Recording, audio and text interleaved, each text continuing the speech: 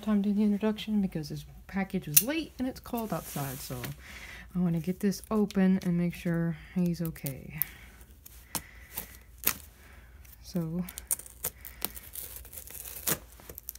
came all the way from California. Made well, now's a good time.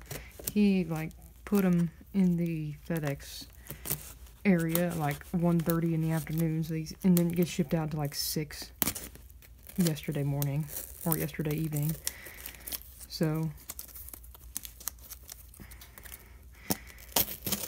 it's a little trippy to me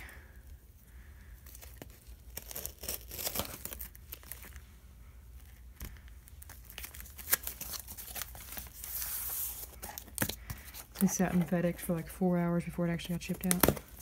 And it's cold.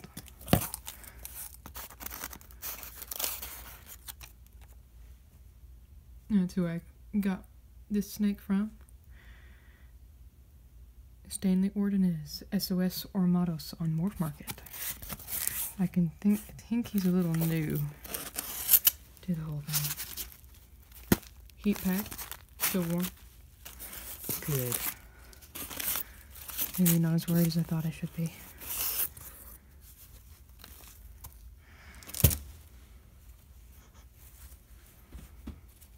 I don't know, it's pretty cold.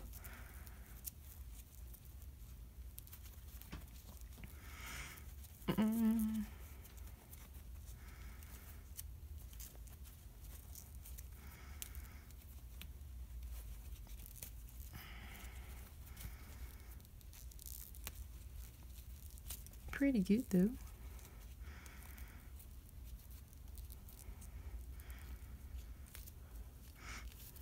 Smells like fish. I wonder why. Bait and tackle shop. Mm-hmm. Hi, little one. Come here. Come here.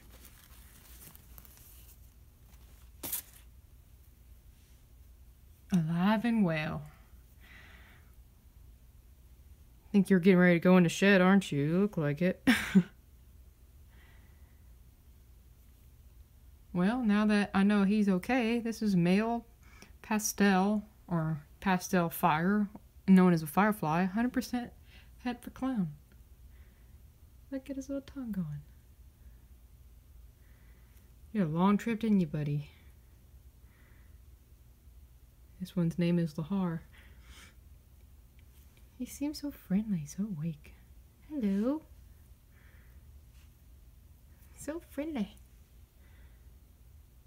And then I have, this will be my last unboxing video for a while, but I do have two other new snakes that I actually didn't get shipped. I ha I'm friends with a local breeder around here and he uh, gave them to me and I'm getting another one sometime probably next week. So I'll do a video on all three of those together.